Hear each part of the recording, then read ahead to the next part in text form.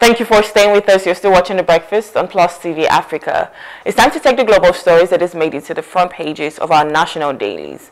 And joining us to review the papers this morning is Professor Kamilu Sani Fage. He's from the Department of Political Science, Bayero University, Kano. Good morning, sir. Thank you for joining us. Uh, good morning, and thank you for having me. Good morning. All right, so we'll begin with the business NG this morning. And this leads with um, currency crisis. It says Naira sinks to 1,652 Naira per dollar from 307 in six years. The writers here says inflation soars from 11.4% in 33.8%. Um, and then CBN raises MPR 13 times in two years. I want to get your take on this. Just about six years ago, so that's um, in 2018, we're seeing Naira at 307. I know just before, um, by 2020, around the lockdown, that was when it went to about 400. But looking at that, um, in four years, from, from 400 um, per dollar to 1,600 that we are currently in, I want to get your take on this because, I mean, how did we even get here in the first place? Yeah, uh, we get uh, here uh, through bad economic policies mm. and through the debt that have been incurring. The major source of this uh, decline in Naira uh, is the uh, foreign debt that have been incurring, mm-hmm. which comes up with conditionalities. And one of the conditionality is for us to devalue the naira, which we do. And uh, secondly, uh, we erroneously believe that uh, through this devaluation, um, we are going to have economic uh, progress. But the fact is that we are a dependent economy. We import. Uh, those countries that devalue their money and get uh, better are those that are productive but we are consumers, we import. So what it means is that the more you devalue your currency, the higher and more expensive are the imported goods uh, in your own country. So that is what it means. And uh, we can't blame uh, the international uh, community along or the international system alone. We have to blame ourselves, you know the policies that we are doing and uh, the fact that uh, we keep on denying that these policies are what plunge us into such economic crisis and we still blindly continue to pursue the same policies. Hmm. So, um, you know, coincidentally, we just spoke about our borrowings this morning, our external borrowings, and now, you know, it's being said that it's going to be to the tune of 45 billion dollars by um, by the end of 2024. So by January, we're looking at 45 billion dollars. Why do you think we keep borrowing so much, and why are we not trying to pay back um, what we're borrowing? You see, when we cannot borrow and pay a debt, the more you borrow, the more you get uh, debt services you incur debt services. So it's, it's one way. When you borrow, you are going deeper and deeper into the debt uh, trap. That is one thing. Secondly, like I said, is because we keep on denying the fact this is our problem. And uh, you cannot borrow and then put it uh, in, in governance, you know, in the cost of running governance, and there is high rate of uh, corruption and, uh, uh you know, wastages. So these are the reasons why even if we borrow, we'll go down deeper instead of coming out of the economic crisis because the more we borrow, the more we consume it in unnecessary, you know, cost of governance, and uh, there is high level of corruption, is high level of wastage. So that is why we are where we are now, and that is why we cannot be able to pay the debt. Secondly, if you look at the debt, they are not short-term debts. You know, once you borrow, uh, they give you certain conditions which is going to last uh, for how many years. And uh, now you cannot pay within ahead of time. You remember the time when Nigeria attempted to do that, but it was refused, it was rejected that uh, they cannot pay uh, upfront before the uh, the, the, the, the due time. So these are some of the reasons why we are not able uh, to pay the debt. And unfortunately, yes, we are in the debt to keep on borrowing. And that's add to the problem that we are in. Mm, interesting. So there's another headline here that says Tinubu's reform struggling to deliver meaningful results, and that's according to the IMF. I think it's quite ironical. it's quite an irony for IMF, who's the one who's always giving us policies um, to implement, and now they're saying that Tinubu's reforms is struggling to deliver meaningful results. I want to get your take on this. Yeah, you see, if you read uh, the papers on Friday, uh, in fact, this report is, is more sympathetic or uh, uh listen to, to the whole process. What actually IMF said that uh, the reform has failed to a meaningful report. In fact, they compare us with Ghana and other African countries that they are making progress and we are going deeper into problems. So I think um, it's just a, a blame game. We are blaming IMF for the problem we are in, but they are in a way turning around to say that they are not to be blamed. After all, they have put all these things, we refuse to go with them. So I think this is one of the reasons why we are saying that our Nigerian leaders or our leaders in general should have a rethink that uh, what we are doing is a wrong way to go and that uh, these people will not feel ashamed. I mean, IMF and World Bank will not feel ashamed to withdraw if we have more uh, problems. So I think the better we now uh, rethink our steps and take uh, another direction, uh, the sooner I think is the better we can get out of the problem. But so one thing I've always asked is when it comes to policies and reforms, of course, uh, there are obviously going to be certain peculiarities with each country or each state. Um, so uh, I, I, don't think they ever looked at our own peculiarities. But at this point, where we are today, how do you think that we can whip up our economy? How do you think we can do better? Or what do you think the, um, the president can do better if his reforms are obviously not yielding the type of results that was expected? Yeah, you see, the, the, the best thing that you can do is to, uh, you know, do away with this uh, IMF policy. Uh, if he finds it impossible to do that, then the next step is uh, he has to cut the, the cost of governance. Mm. Because that is where the huge amount of money, the, the debt goes in. And he has to also leak wastages, leak up, I mean, uh, plug up the wastages and above all, there has to be a serious, uh, you know, uh, control of uh, corruption because these are the three major things: wastages, uh, you know, uh, high costs of governance, uh, which is also part of the wastages, and then corruption. So if we are to do these things, I think we will be better off. But the best way, I think, is for the government to get out of this IMF uh, and World Bank uh, debt trap and uh, refuse to take it and abandon these things because there is no country that has developed with this recipe of IMF. So we cannot be an exception. Mm.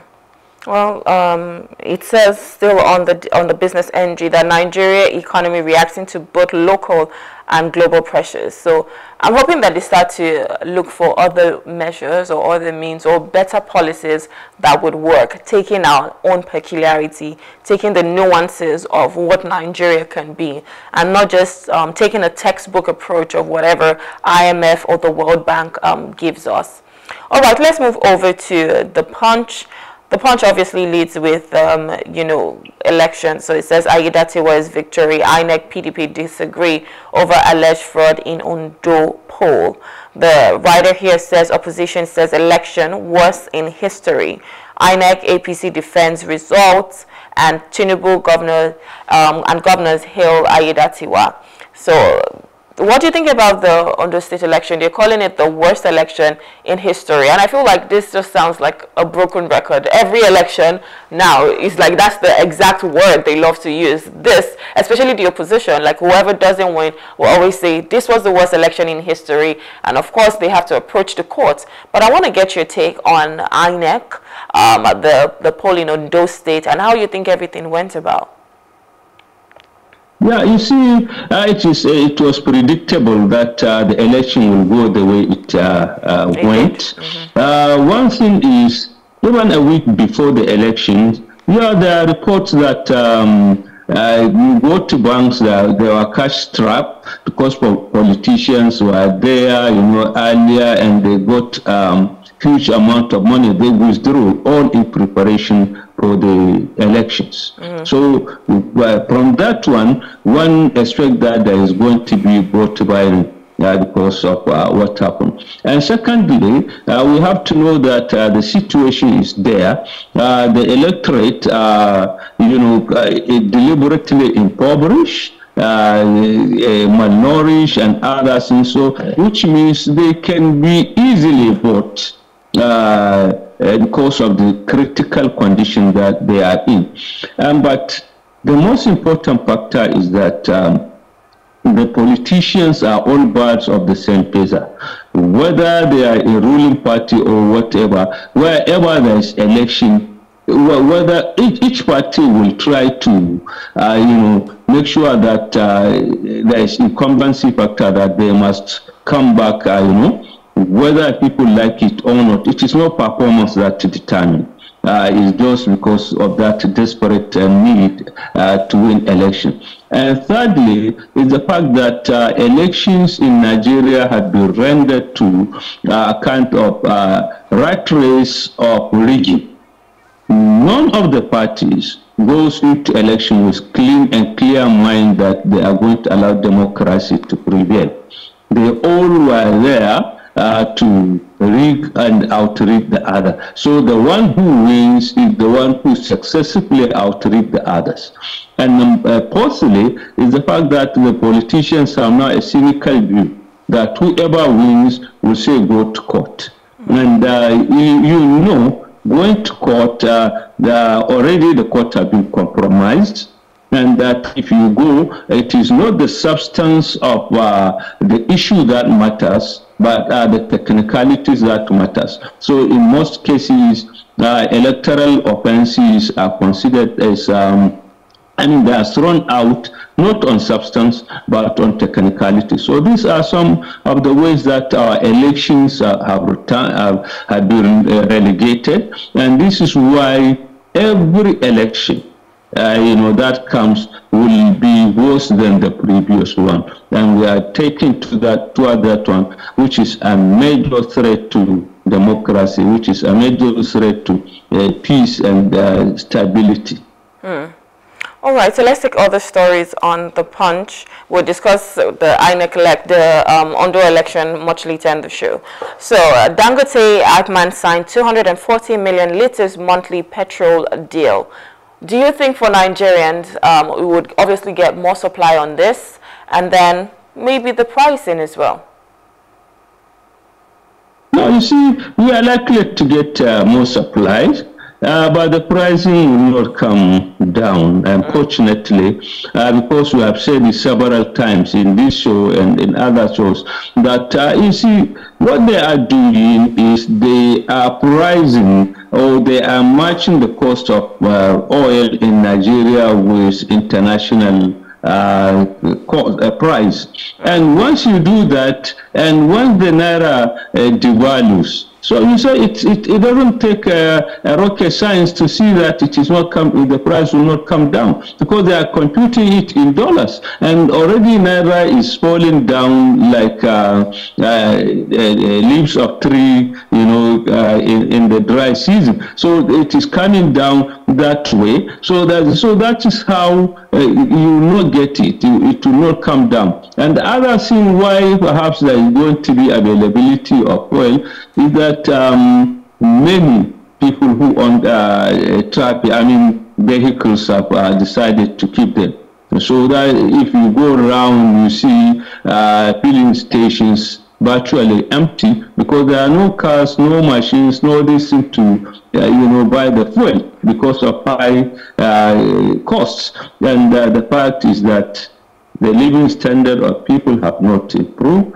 Uh, you know, you are still uh, struggling with a paltry uh, wages or let's say salary even if you implement the 70,000 naira, it will not, uh, you know, empower people to buy food because uh, they will rather go for uh, food fuel. So uh, these are some of the reasons why you can see fuel uh, in filling station, but the price will not come down because the basic economic laws are not uh, applicable in Nigeria. What we have is a greed of the people and lack of um, you know, uh, intervention by the government. Uh, and these are some of the reasons why even if Dangote will double the production, it will not bring down the right. cost of uh, price, I mean the price of oil as significantly as uh, possible.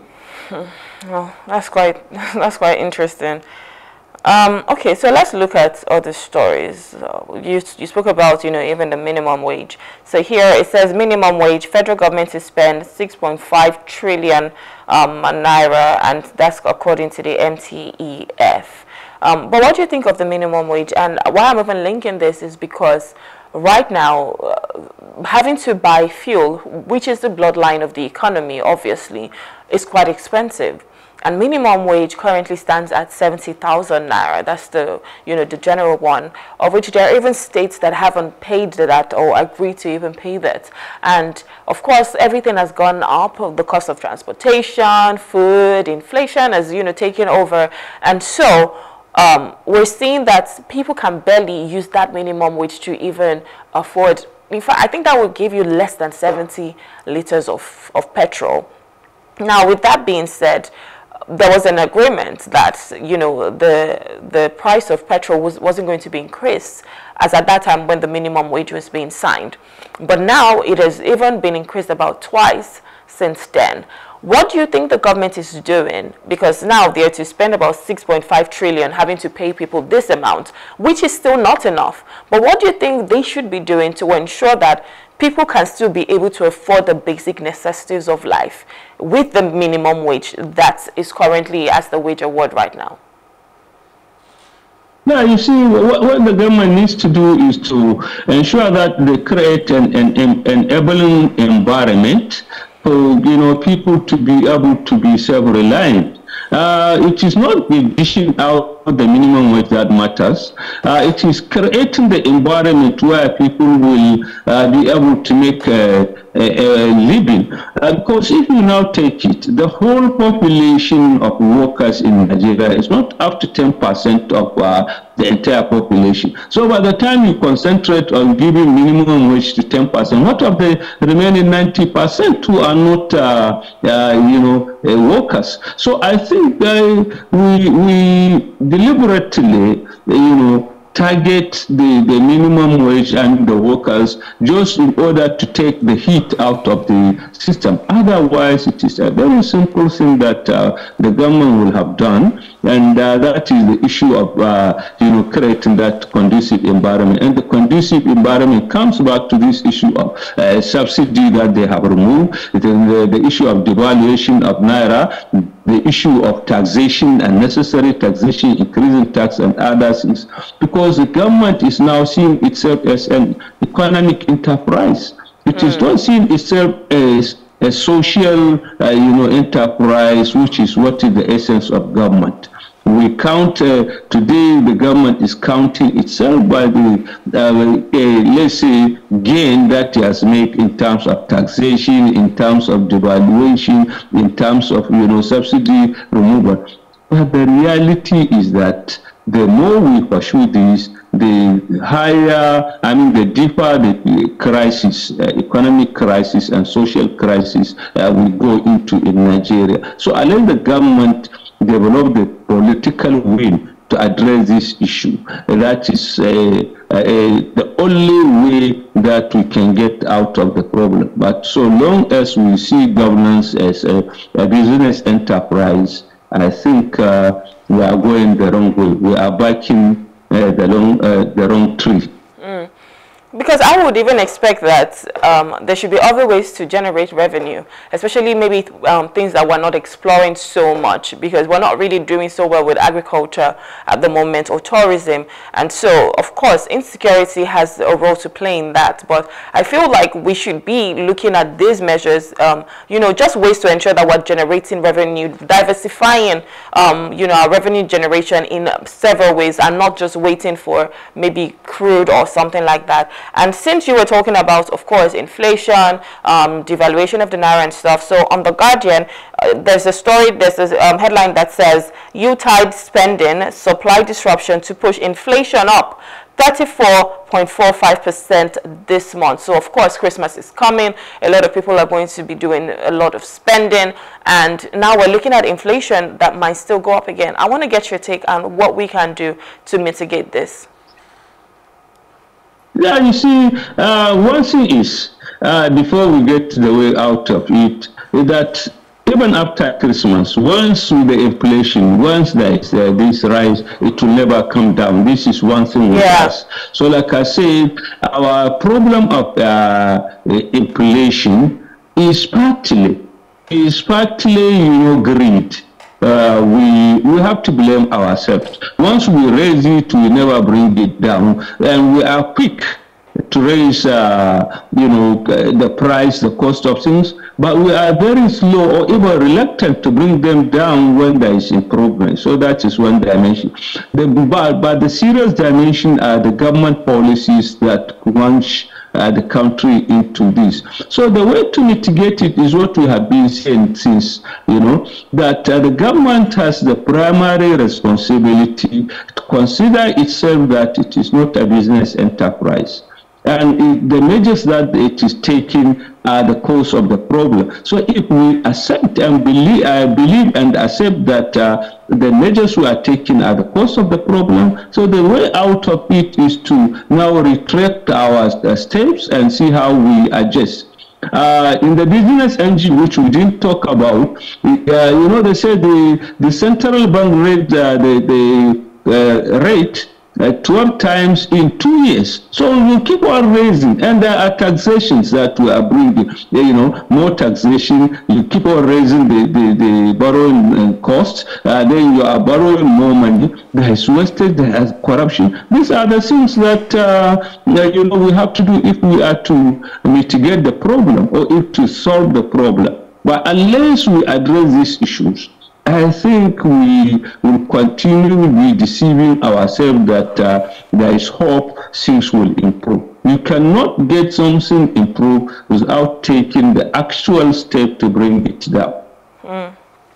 Well, so I know one thing that we cannot also uh, try to improve or not taking the step is putting your house in order and getting um, getting foreign investors to come in. So um, the leading story here on The Guardian says, leveraging shared history, Nigeria, India to expand $7.5 billion trade ties. So that's the major story on The Guardian. So I know that, especially from last year, from when the um, president assumed office, one thing he has always tried to do was, you know, go out to look for foreign investors. And something that we've always said was, here in Nigeria, do we even have a good environment for these investors to come in? Are we even, um, you know, encouraging the local investors here before we're saying we want foreign investors?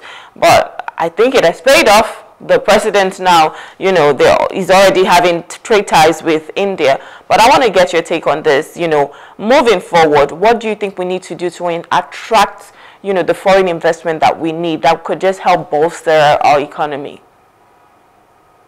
You see, we have to look at why, what is scaring the, uh, scaring the foreign investors to come to Nigeria, and what is uh, propelling them to leave out of Nigeria. You see, we have to look at uh, what is scaring the foreign investors from coming to Nigeria and what is propelling some who are already here to leave Nigeria and go other uh, places, to other places. Plus the issue of insecurity. You know, guys, investors are very sensitive. Uh, they are very conservative. They don't come to any place where there is uh, high insecurity. So the government has to address that issue if it wants to, uh, you know, get uh, foreign investors to come.